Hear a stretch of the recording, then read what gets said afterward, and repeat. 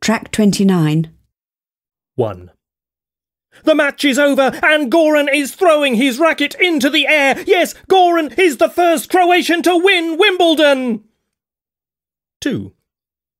Welcome back to the second half. The score is 2 0 thanks to Ronaldo. 3. He is very fast. Yes, look at the time. One second faster than Monroe. But no, he's falling. This is the third skier who won't be able to finish the course today. 4. She's running very slowly today. She's in fifth position now. No, she's picking up again. She's in fourth position, leaving Jones behind. Can she make it after all? 5.